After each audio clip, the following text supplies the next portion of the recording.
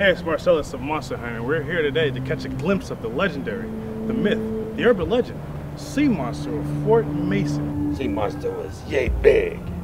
What monster? What are you talking about? Damn illegal sea monsters. Sea monsters matter too.